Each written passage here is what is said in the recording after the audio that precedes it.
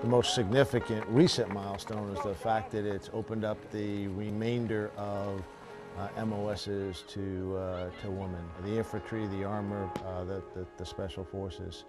This is something been in the works for, for some time, um, but the fact that now all MOSs uh, are open to uh, women we see as a very positive thing for uh, recruiting. The latest numbers I'm tracking is uh, just over 100 have actually enlisted into those MOSs.